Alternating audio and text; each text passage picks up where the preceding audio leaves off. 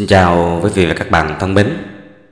Hôm nay à, mình à, tiếp tục làm à, đề tài Công giáo, huyền thoại và tội ác. Mục tiếp theo là các tu sĩ dòng tên. Thì các tu sĩ dòng tên nó sẽ liên hệ đến à, chữ quốc ngữ mà Alexander Roth đã à, nhân danh à, linh mục truyền đạo vào Việt Nam và từ đó nó có những biến cố. Và đề tài sau mình sẽ làm à, chữ quốc ngữ à, của Alexander Roth. À, mời các bạn chú ý đóng xe nhớ đăng ký kênh và à, để được có được những cái bài mới. Lời thật của Chúa Giêsu ai chơi dao sẽ chết vì dao. Dòng tên là một dòng tu đặc biệt của công giáo La Mã mang tên Chúa Giêsu hay Jesus. Từ căn ngữ tên của Chúa, các tu sĩ dòng tên được gọi là Jesus. Đặc tính của các tu sĩ dòng tên là cực kỳ hung hăng, hiếu chiến như những tên lính xung kích trong các công tác phá hoại các tôn giáo khác và chống các chính quyền không tuân phục La Mã. Do đó dòng tên được La Mã đặt tên là đạo binh của giáo hội, đoàn quân của Chúa Giêsu.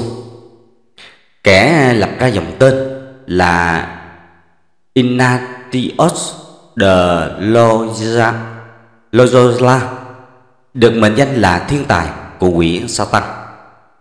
Y đã lập ra một đạo quân tu sĩ tuyệt đối trung thành với giáo hoàng La Mã với những kỷ luật đặc biệt được cam kết bằng máu. Chẳng bao lâu, dòng tên đã trở thành một lực lượng tôn giáo có sức công phá khủng khiếp nhất trong lịch sử nhân loại. Đến nỗi Tổng thống Abraham Lincoln, Hoa Kỳ cũng phải khiếp sợ vì gọi đó là đám mây đen. Dòng tên là một thành trì vững chắc của giáo hội công giáo gồm toàn các thành viên từ trình độ trí thức thông thường đến trình độ đại trí thức. Bao gồm nhiều nhà bác học phát minh về nhiều lĩnh vực khoa học.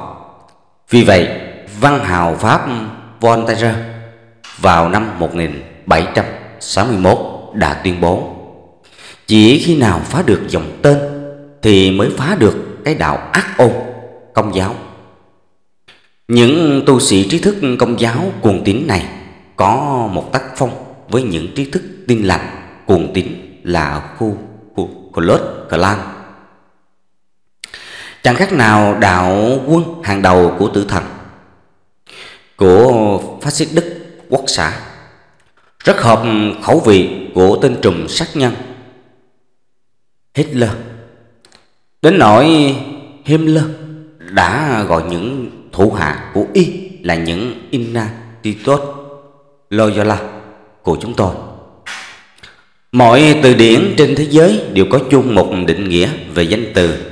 Jesus, tu sĩ dòng tên Là người ngụy biện, giả nhân, giả nghĩa, kẻ xảo trá, phản phúc. Ngoài ra, trong tác phẩm Ganman, The South Road, xuất bản năm 1954 Tác giả Đức Don Sepp đã viết danh từ Jesus Tu sĩ dòng tên bao gồm một danh sách dài của những tiếng đồng nghĩa, hai mặt phản trắc, gian trá, gieo rắc độc hại, gây chia rẽ, lừa lọc, nói dối, thương xót, giả tạo. Không biết trọng danh dự, thiếu thành thật, bất lương, chẳng bao giờ nói thật. Người Pháp có câu cách ngôn rất hay, khi nào có hai tu sĩ dòng tên đi với nhau luôn luôn tạo thành ba thằng quỷ sứ. Người dân tây ban nha nghèo hơn các dân âu châu khác rất đau xót vì thường bị những tu sĩ dòng tên lừa đảo để bòn rút tiền bạc của họ. Vì vậy, người tây ban nha có câu tục ngữ còn độc hơn câu tục ngữ của pháp nói trên. Đừng trao vợ cho thầy dòng, cũng đừng trao tiền cho những Jesus. Loyola đã ra lệnh cho dòng tu của y một huấn mệnh nghiêm ngặt Dòng tu của chúng ta không bao giờ để mình không bị quấy rối trong thời gian lâu dài bởi sự thù nghịch của thế giới. Người sáng lập dòng Jesus là Ignatius de Loyola Ricondo năm 1491 tại tỉnh Guy Boscot, Tây Ban Nha, phục vụ điều nhiều năm trong quân đội Tây Ban Nha với cấp bậc đại úy nhưng có tham vọng lên tướng. Cuộc đời trận mặt đã biến y thành một thương phế binh bất mãn. Y có vợ con nhưng nghèo khổ nên càng thêm bất mãn hơn nữa. Tuy vậy, với bản chất cực kỳ hung bạo, say mê mạo hiểm, thích lao đầu vào các cuộc chinh phục với những ước vọng quá lớn. Y quyết tâm gồng mình vươn lên thành ngọn tháp của lòng kiêu ngạo, quyết tâm của y xảy ra đúng vào thời kỳ giáo hội công giáo La Mã đang lâm vào tình trạng tăng rã do nạn ly giáo, bỏ giáo hội của nhiều giáo phái tin lành dưới triều đại Phaolô Đệ tông năm 1534 năm 1549. Đang lúc giáo hoàng lâm vào tình trạng vô cùng bối rối thì Loyola xuất hiện như một vị cứu tinh của giáo hội. Loyola trình lên giáo hoàng Phaolô Đệ Tam một kế hoạch chống nạn ly giáo bằng cách lập đoàn quân gián điệp, gồm toàn các tu sĩ trí thức, cuồng nhiệt, cài vào tận trái tim của các giáo hội ly khai. Từ nay, trong nội bộ các giáo hội ly khai đó, các tu sĩ gián điệp sẽ tìm đủ mọi cách, dùng đủ mọi thủ đoạn kể các vị việc áp sát các thủ lĩnh y giáo để làm tê liệt và cuối cùng sẽ tiêu diệt hoàn toàn các giáo hội ly khai này. Loyola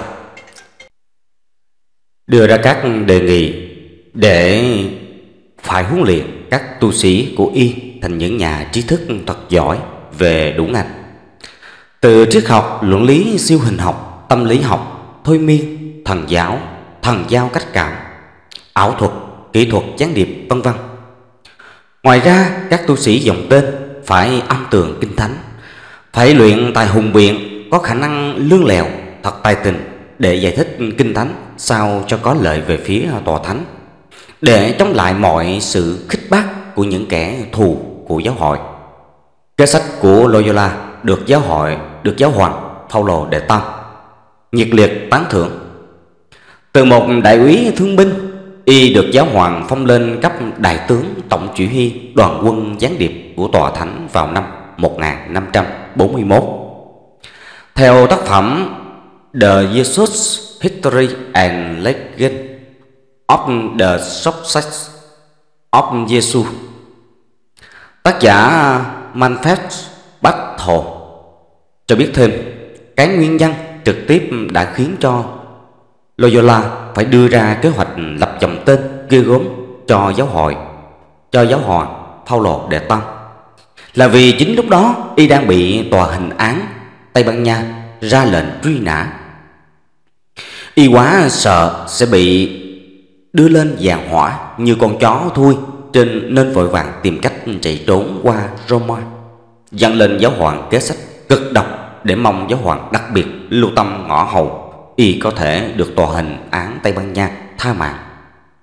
Sau khi kế sách của y được giáo hoàng chấp thuận và phê chuẩn dự án thành lập dòng tên, y vội vàng về trình lại sự việc cho tòa hình án Tây Ban Nha. Tòa án tôn giáo nổi tiếng sát nhân kinh khiếp này vẫn không chịu tha Loyola một cách dễ dàng.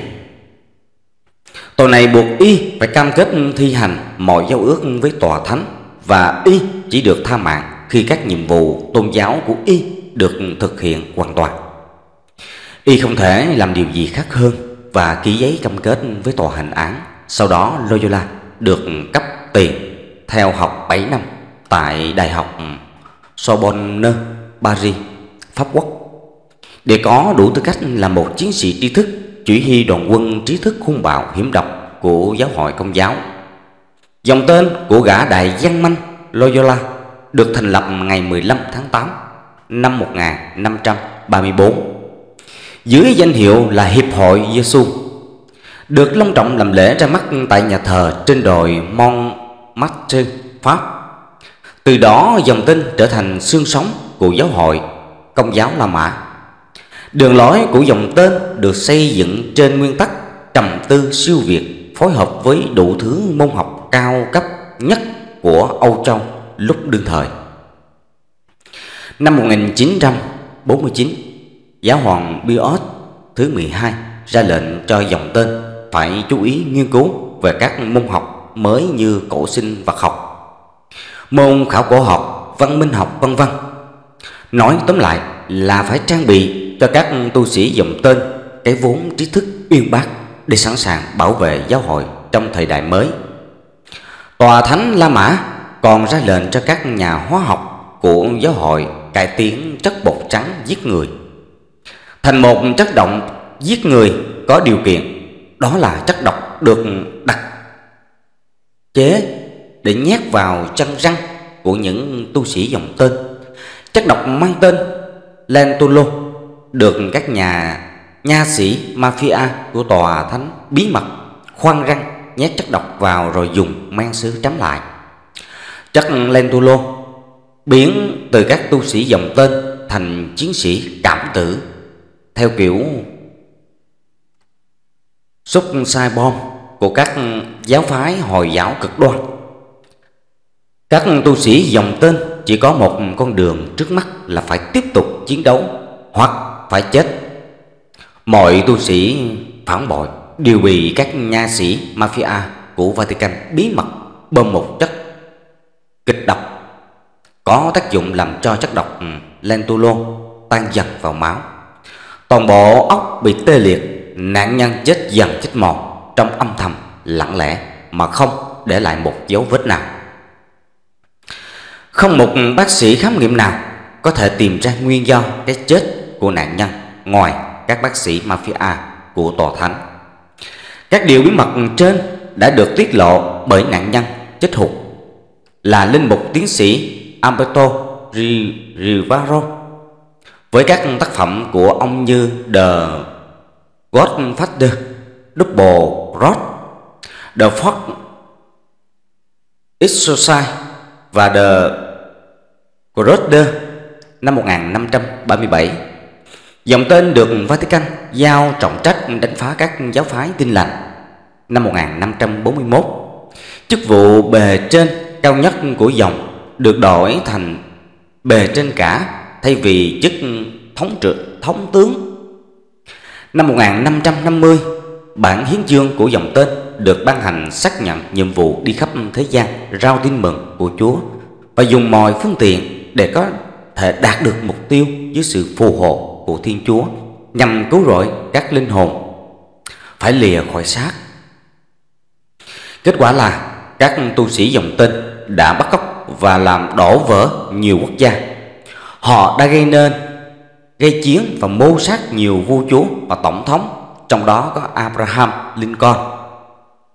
Dòng tên là một công cụ tinh vi nhất của Vatican để thực hiện chủ nghĩa đế quốc tinh thần. Trung Nam Mỹ châu là sân khấu lịch sử thể hiện rõ nét nhất cái gọi là sự kinh hoàng thánh thiện của dòng tên, nhất là dòng tên của Tây Ban Nha một dân tộc ham mê môn đấu bò không phải vì ham mê thể thao mà chỉ vì màu đỏ huyết dụ của máu mới đủ sức gây khoái cảm cho bản chất bạo dâm tinh thần của họ. Sự xuất hiện của dòng tên nói chung là một nghịch lý lớn của lịch sử giáo hội công giáo La Mã. Nói là mang phúc âm đến những nơi đã mang mọi rợ thực tế cho thấy họ chỉ mang tai họa của âm ti đến mọi quốc gia. Ngoại đạo bằng những phương cách giả mang, mọi rợ hơn ai hết. Nghịch lý thứ hai là dòng tên hội tụ đông đảo số trí thức cao cấp của giáo hội công giáo La Mã tại Âu Châu chúng ta thật không hiểu nổi tại sao họ lại có thể mù quáng tự trói buộc mình vào những lời thề độc địa như, nếu giáo hội bảo tôi màu trắng là màu đen, thì tôi sẽ trả lời vâng đó là màu đen Họ hy sinh mạng sống để tự đặt mình dưới sự sử dụng của giáo hoàng. Họ hãnh diện được thiên hạ, nghĩ về họ như những chiến sĩ tiền phong của giáo hoàng. Hoặc như đoàn quân Lê Dương số 1 Họ tôn xưng giáo hoàng không phải là vì lãnh đạo anh minh của một giáo hội lành mạnh mà là một vị tướng quân tối cao của một đế quốc xâm lược ngụy trang là tôn giáo. Không có một tổ chức nào có thể đưa ra những khẩu hiệu quái gở như dòng tên, chẳng hạn như Bering Akanaver, nghĩa là tôi không muốn gì hơn là chính cái xác chết của tôi. Vào thời đại của sự soi sáng, thế kỷ 18-19, các tu sĩ dòng tên bị hầu hết các nước Âu Châu lên án và tẩy chay. Otto von Bismarck năm 1815 năm 1898. Vị thủ tướng thép của nước Đức đã trục xuất toàn bộ các tu sĩ dòng tên ra khỏi nước Đức. Chính quyền Thụy Điển ra lệnh cấm chỉ mọi hoạt động của dòng tên. Đóng cửa tất cả các trường học do dòng này điều khiển trên đất nước họ. Tuy vậy, tại các quốc gia không có chính quyền vững mạnh, dòng tên vẫn tiếp tục tác oai tác quái, lũng đoạn chính quyền. Không từ một thủ đoạn tàn ác nào như bắt cóc, khủng bố, gây chiến và ám sát các vị nguyên thủ quốc gia. Nào không chịu hợp tác với họ. Trải qua trên 400 năm lịch sử của dòng tên, hầu hết các quốc gia Tây phương đều bị dòng này khuynh đảo, lật đổ chính quyền. Chỉ ngoại trừ nước Mỹ mà thôi.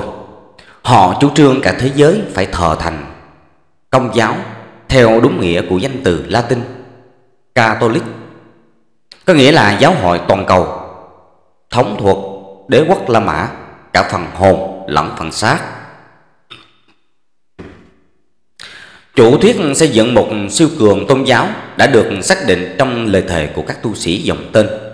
Đức Giáo Hoàng là đại diện của Chúa Giêsu. Chúa ban cho Ngài quyền năng trút phế các vua chúa của mọi quốc gia.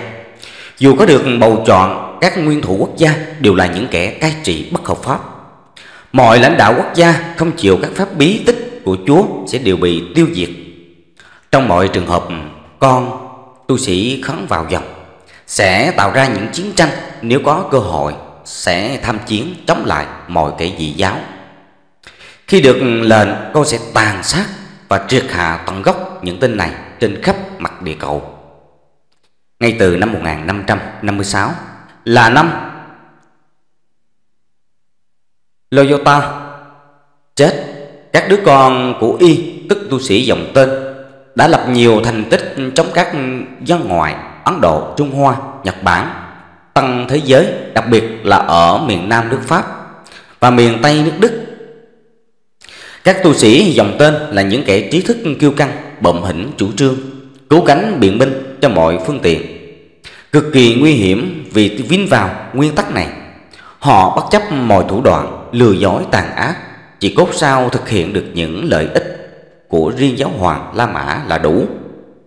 Trong thập niên 1960, linh mục dòng tên Hoa Kỳ Roger Đức đắc cử dân biểu quốc hội đã nhận lệnh của giáo hoàng Paulo để lục chống chiến tranh Việt Nam và vận động buộc Nixon từ chức sau vụ tai tiếng Watergate.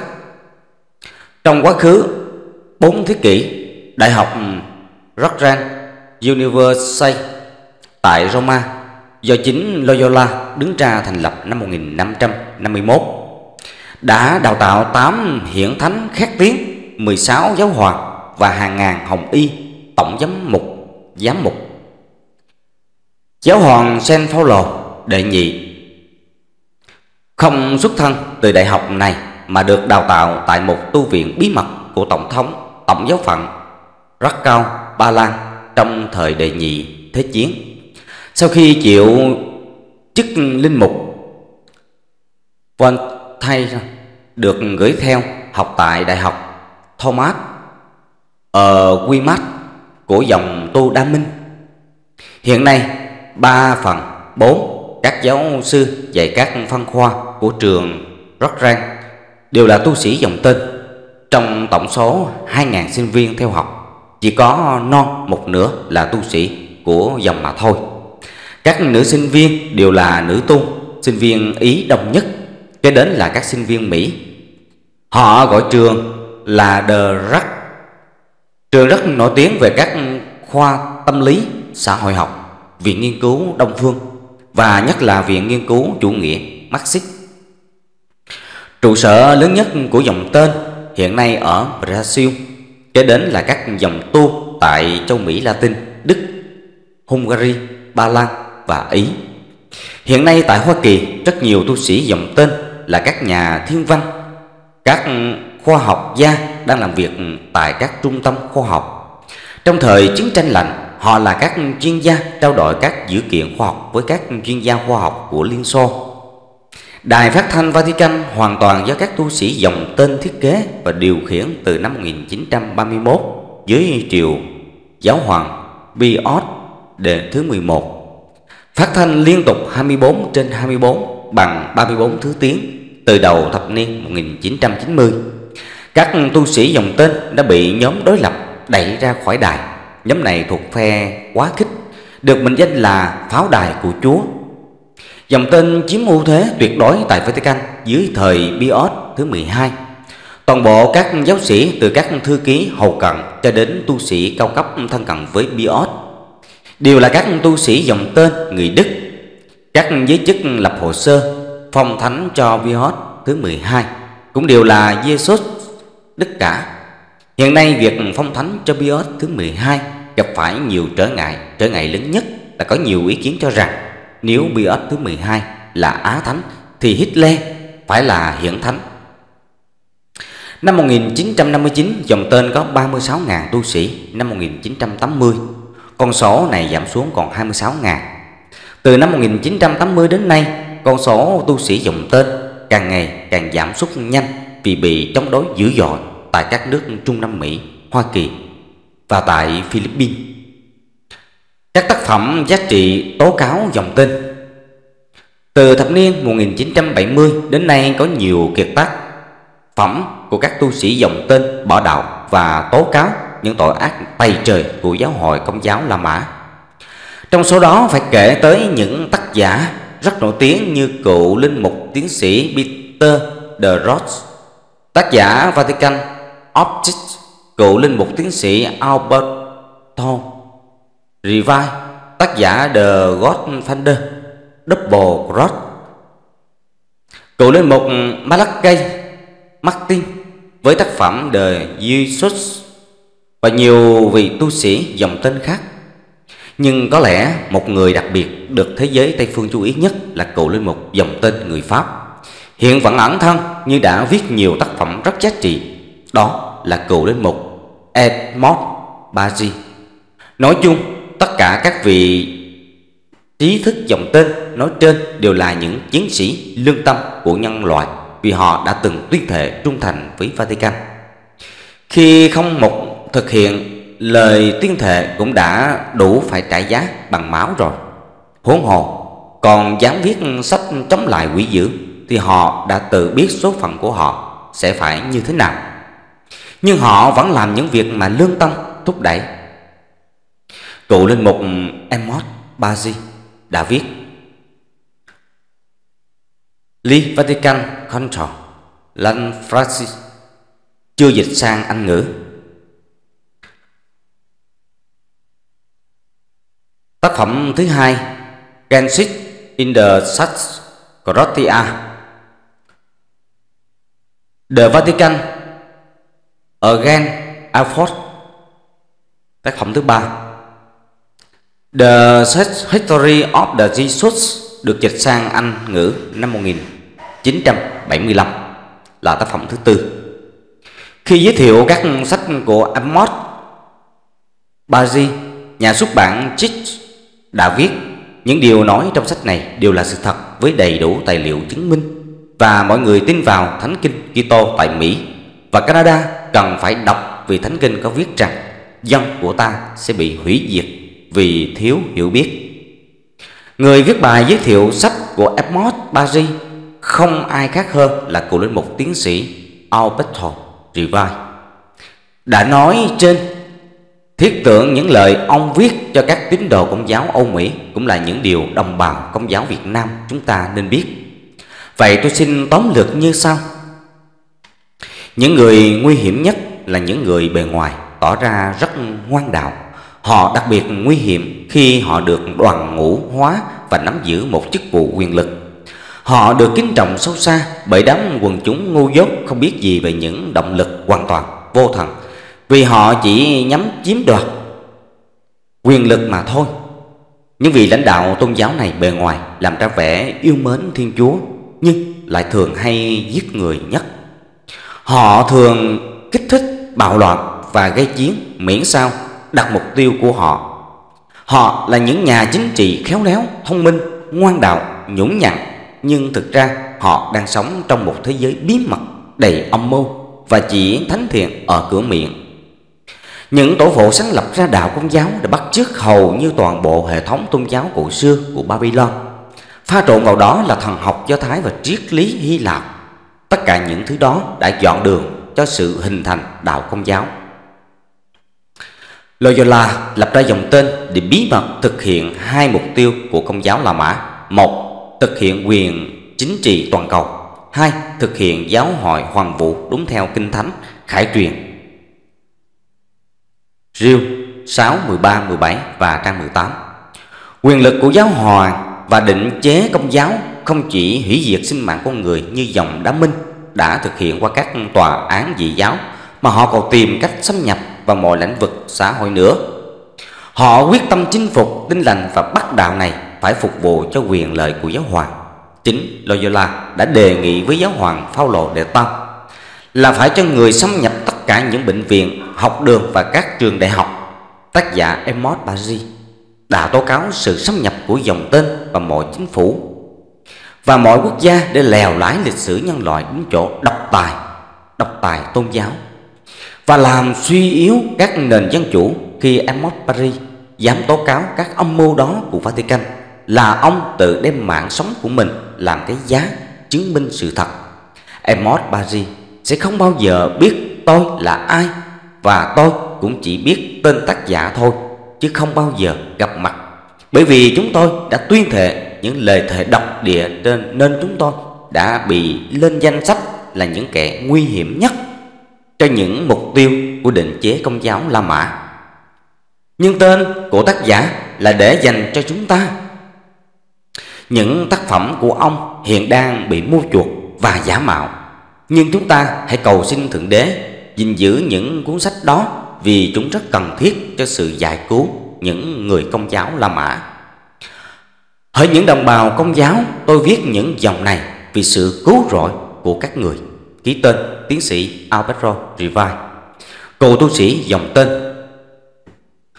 Francisco Save, một đệ tử khét tiếng của Loyola là Francis Save.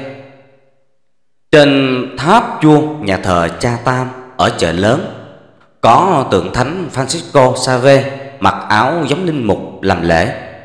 Ông ta là một nhân vật nổi tiếng tại Ấn Độ vào thế kỷ 16. Các vua quan Ấn Độ rất khâm phục ông.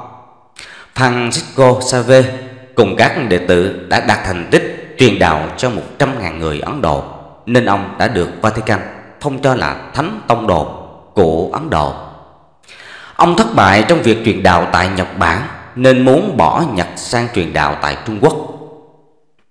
Tuy chưa đặt chân lên Trung Quốc nhưng vì rất am hiểu tâm lý của người Trung Hoa nên ông đã tích cực vận động giáo hoàng. Slemet thứ 9 bãi bỏ lệnh cấm người công giáo Đông phương thờ cúng tổ tiên. Năm 1704, giáo hoàng Slemet thứ 9 đã không nghe lời ông can gián và ra đạo luật cấm thờ cúng tổ tiên. Các giáo dân Trung Hoa bỏ đạo gần hết vì bị giáo hoàng xúc phạm đến tín ngưỡng lâu đời của họ. Người Trung Hoa tức giận với lý do rất dễ hiểu. Nếu tổ tiên là quỷ thì chính mình là con cái của ma quỷ chứ còn là con cái gì khác hơn được. Chỉ bằng một hành động dại dột của đấng không thể sai lầm, Vatican đã xóa tan công trình truyền đạo trên 100 năm của các tu sĩ dòng tên tại Trung Hoa. Các tu sĩ dòng tên oán trách giáo hoàng Salamet thứ 9 đã đánh mất Trung Quốc của họ. Do thất bại quá đau đớn này, đến thế kỷ 20, Vatican mới học được bài học kinh nghiệm nên đã cho phép mọi người công giáo Á Đông được thờ cúng ông bà cha mẹ của mình tự do. Không phải kiên cử gì cả, ông bà tổ tiên của chúng ta đã được tòa thánh La Mã sáng suốt chính thức công nhận không phải là ma quỷ trong cộng đồng Vatican II năm 1962. Nhưng đến nay, tòa thánh mới chỉ nhượng bộ đối với đạo thờ cúng ông bà tổ tiên mà thôi. Còn đối với đạo Phật, đạo lão vẫn tiếp tục bị kết án là các đạo thờ quỷ như thường lệ. Trong sách kinh Nhật khóa của Tổng giáo phận Sài Gòn đã được Tổng giám mục Nguyễn Văn Bình duyệt ngày 19 tháng 3 năm 1971 có kinh cầu ông Thánh Francisco Save rất dài từ trang 784 đến 791. Trong đó có những câu như sau: Ông Thánh Francisco là môn đệ rất xứng đáng của ông Thánh Ignatius là quan thầy các nước Đông phương là kẻ nghịch đạo dị đoan, phá tan đạo bục, thần ma quỷ, là lính giao tiếng Đức Chúa Thánh Thần cho những dân mọi rợ, vì chúng nó không biết ăn thịt uống máu của Chúa của người ta. Là đèn soi sáng cho những dân ngoại đạo tối tâm. Ông Thánh Francisco Save làm cho quỷ thần ám chỉ Đức Phật. Kinh hoàng và làm sáng danh Đức Chúa Trời, đời đời chẳng hết. Trong sách kinh, toàn niên kinh nguyện của hai địa phận Bùi Chu và Hà Nội do cơ sở dân chúa Beobot năm 1419 Central Na Leo A. Việt Châu chủ quản. Nơi trang 18, 19 có câu Quý xin Chúa từ nay về sau Đừng để những người ngoại đạo khinh dễ công ơn cứu chuộc Vì không chịu vào đạo Chúa. Xin Chúa vì lòng nhân từ Chúa mà dông thứ cho những kẻ ấy xưa nay đã lạc đàn thờ lạy bục thần. Nơi các trang 143, 145 có câu Xin Chúa hãy làm vua các kẻ còn có còn ở nơi tối tăm thờ lạy bục thần hay là theo đạo Mohammed mà rủ thương chúng nó nhận biết sự sáng thật cùng phục quyền Chúa tôi. Đối với người Việt Nam, tu sĩ dòng tên nổi tiếng người Pháp Alexander Roth, tức cố đạo đắc lộ, là một nhân vật dòng tên có mối liên hệ mật thiết nhất với chúng ta Tuy nhiên không phải là người lập ra chữ quốc ngữ Nhưng ông cũng là một phần có công truyền bá chữ này Cuối tháng 3 năm 1993 Hội Khoa học Lịch sử của Chính phủ Việt Nam đã tổ chức một hội nghị tưởng niệm 400 năm ngày sinh của ông tại hội trường Bảo tàng Việt, Viện Cách mạng. Nhân dịp này, chính phủ Việt Nam đã quyết định khôi phục tên đường Alexander Road tại Sài Gòn và dựng lại tấm bia đá kỷ niệm mang tên ông tại khuôn viên Thư viện Quốc gia ở Hà Nội. Linh mục Alexander Roth đến nước ta truyền đạo hai đợt. Một, đợt đầu ở đàng ngoài, từ năm 1624 đến 1630 thì bị chúa Trịnh Tráng trục xuất. Đợt hai,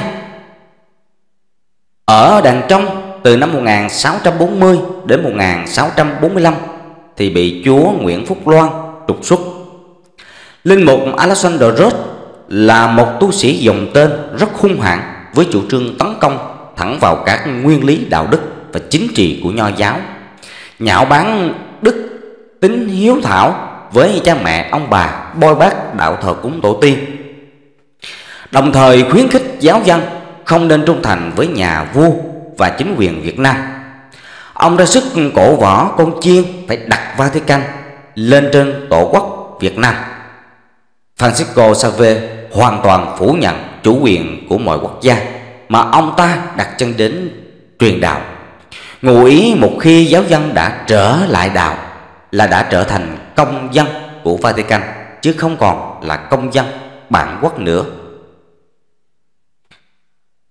Để hiểu về Alexander Roth, xin hãy đọc thêm các à, bài viết của linh mục Trần Thái Đỉnh, giáo sư Trương Châu, Trương Thâu và Nguyễn Kha trong cuốn Kitô giáo từ thực chất đến huyền thoại. Nhà văn hóa xuất bản năm 1996 đứng trên lập trường dân tộc. Alexander Roth là kẻ thù của chúng ta vì y chủ trương làm sạch địa bàn cho văn hóa Kitô giáo độc diễn và dọn đường xâm lược cho thực dân Pháp. Y chính là kẻ bắt cho bài ca quân hành.